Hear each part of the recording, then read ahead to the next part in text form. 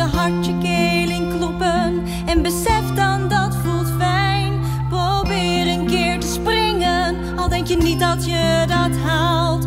Want als jij niet durft te leven, meid, dan heb je pas gevaar.